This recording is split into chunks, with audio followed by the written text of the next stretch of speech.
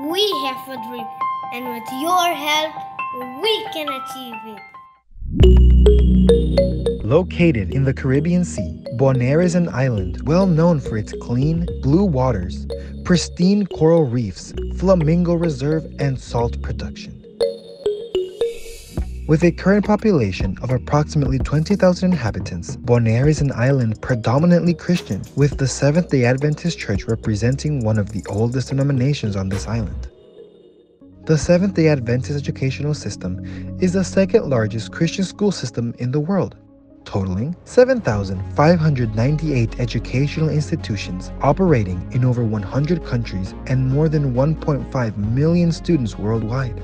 Mental, physical, social, and spiritual health, intellectual growth, and service to humanity are core values key to the educational Adventist philosophy. The Seventh day Adventist Church in Bonaire aims to provide our children with an educational environment that supports Christian holistic development on the island. We believe that the children of Bonaire should have the opportunity to be educated, to use their God given capabilities to become individuals of principle, and to be qualified for any position in life. For the last few years, the Seventh day Adventist Church in Bonaire has been dreaming about this project and exploring possibilities to set up the first Adventist school on the island. After careful consideration and important planning, we are finally ready to start with the first phase of this project.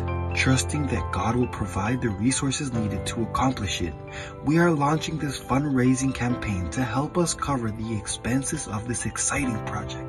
With these funds, we will be able to cover all expenses related to paperwork, marketing, construction plan, and development of the curriculum for the school.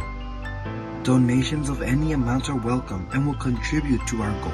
We thank you in advance for your generosity and support in this project and pray that God will richly bless you and keep you in His protection.